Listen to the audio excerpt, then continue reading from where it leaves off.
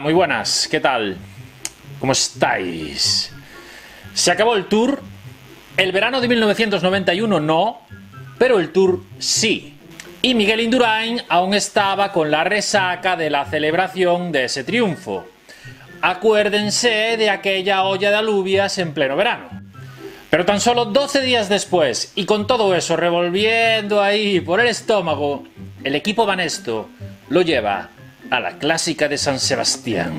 Una clásica plagada de figuras y entre todas ellas estaba el italiano del Gatorade, Gianni Buño, que iba a comenzar aquí su particular vendetta.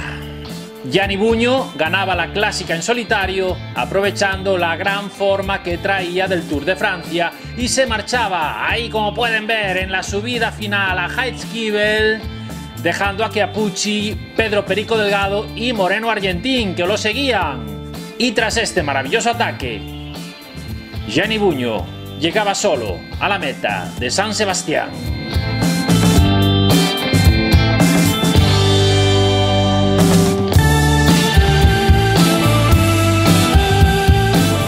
Miguel Indurain llegaba a casi dos minutos con otros 20 ciclistas, pero a partir de aquí, queridos niños, comenzaba la cuenta atrás. Se acabaron las alubias. Porque en tan solo 15 días, el 25 de agosto, se iba a celebrar en Stuttgart el Campeonato del Mundo.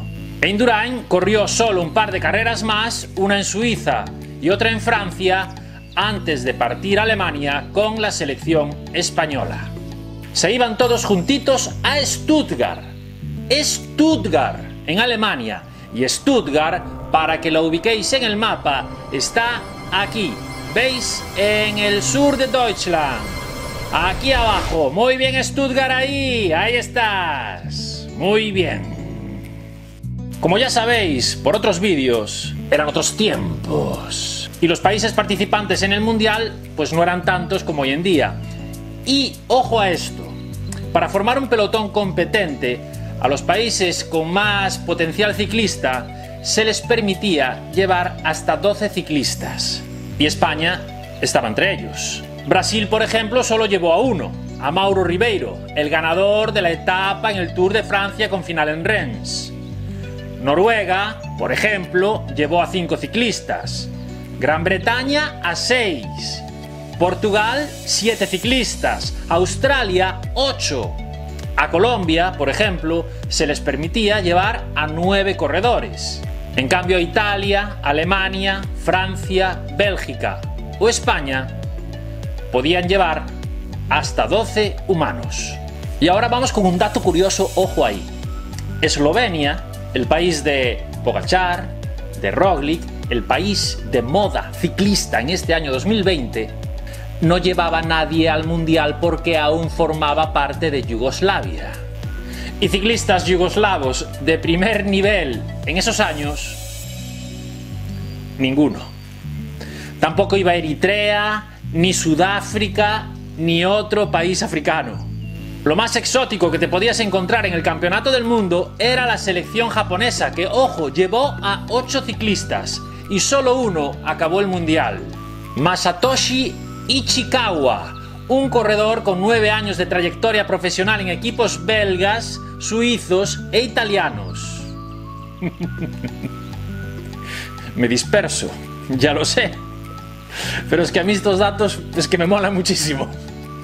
La selección española estaba compuesta por Javier Murgialday del Seguro Samaya, Álvaro Pino del equipo Kelme. Ojo que Álvaro Pino, solo 20 días después, tras disputar la Volta a Cataluña, se iba a retirar del ciclismo. También estaba González Salvador, el vigente campeón de España y que pertenecía al Puertas Mavisa, José Luis Rodríguez, del Seur, que había quedado segundo en el Campeonato de España tras González Salvador. También fueron Eduardo Chozas y Marino Lejarreta, del equipo 11, Fede Chávez, Ahí está, y Alberto Leonid Barrutia del equipo Clash Cajas Tour y cuatro hombres del Banesto, Marino Alonso, Jesús Rodríguez Magro, Pedro Perico Delgado y un tal Miguel Indurain. El circuito de Stuttgart tenía casi 16 kilómetros, con un puerto más o menos en el medio de 6 kilómetros de ascensión. Y a este circuito se le daban 16 vueltas. En total, 252 kilómetros. La selección española empezó la carrera muy activa, ahí muy atenta, sí señor. Eduardo Chozas se metió en la primera fuga del día. Una fuga que no llegó muy lejos. Y aquí Rodríguez Magro sale muy atento al intento de ataque de Claudio Chiapucci. Bueno, vamos muy rápido. Frenarme si veis que me embalo, pero ya faltan solo 10 vueltas para el final. Estamos comenzando la subida y aquí Rodríguez Magro recibe órdenes de Pedro Perico Delgado y salta del grupo. ¡Vamos allá!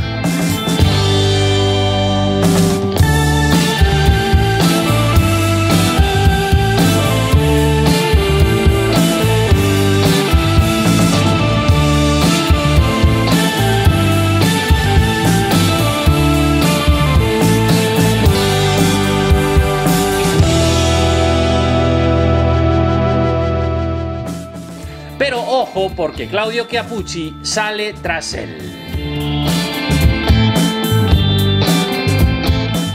Chiapucci llega a la altura de Rodríguez Magro, lo sobrepasa y se va con otros 5 ciclistas, formando una fuga de 6 ciclistas. Una fuga que se queda en 5 tras esta avería de Rolf Alta. Aunque bueno, esta fuga no llegó muy lejos, solo llegaron a tener unos 30 segundos de ventaja y antes de llegar a las últimas dos vueltas eran alcanzados. Faltaban dos vueltas o lo que es lo mismo 32 kilómetros y la selección española había trabajado hasta este punto very good, muy bien. Y a estas alturas solo quedaban al lado de Indurain Federico Echave y Pedro Perico Delgado. Y en este momento, subiendo de nuevo el puerto, salta Perico. Ahí está Pedro, como pueden ver, buenas piernas, se va por delante.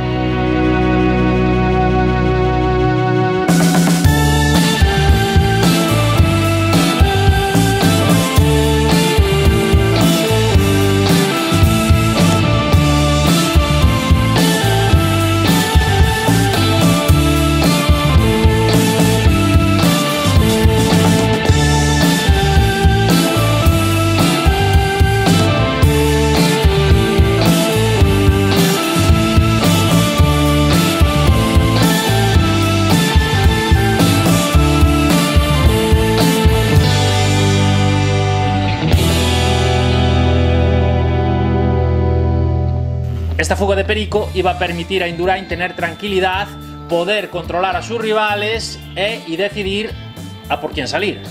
Y el primero en intentarlo era de nuevo Gianni Puño, con Charlie Motet a su rueda. Como pueden ver, pasaban a Perico, pero Miguel Indurain tomaba riendas en el asunto y salía fácil a su rueda. Y todo se calmaba de nuevo. Llegábamos a la última vuelta, como pueden ver, y Mauricio Fondries de Italia y Marc Madiot de Francia se iban los dos por delante. Y atrás, a unos pocos segundos, caminaba Indurain rodeado de italianos, Casani, Gianni Buño y Claudio Chiapucci. La fuga de Fondries y Marc Madiot no llegaba muy lejos y poco antes de comenzar la última subida eran alcanzados gracias al trabajo de la selección neerlandesa que no holandesa. Y nada más comenzar la última extensión, Gianni Buño que lo vuelva a intentar. Pero aquí todos están muy atentos, el grupo va muy estirado, se sube con continuos ataques y ya ahí, en la parte final, Indurain es el que pega un acelerón, corona y lo continúa en el descenso y aquí el grupo se rompe.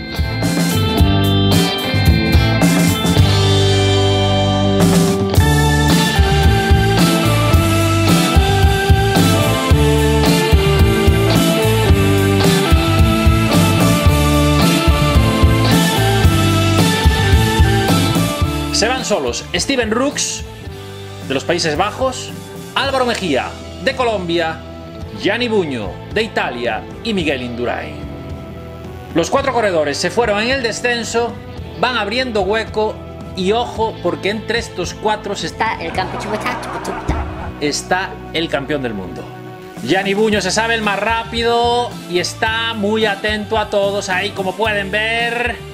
Y a falta de 250 metros, Indurain, a rueda del italiano, lanza ahí el sprint, pero Buño, muy superior, no permitió en ningún momento que lo sobrepasara y como pueden ver se convirtió en campeón del mundo. Steven Rooks hizo segundo y Miguel Indurain, que no lanzó la bici y casi se dejó ir, cuando vio que no podía con Buño, hizo tercero.